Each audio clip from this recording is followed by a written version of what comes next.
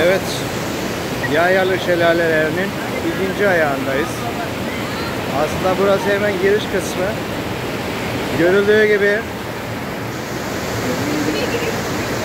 kayaların arasından fışkırarak fışkırarak geliyor. Burası tamamen e, mağara görünümünde yerler var. Şurada harika manzaralar. Şu anda tam 90 derece. 90 hatta 90 dereceyi geçtik. Ee,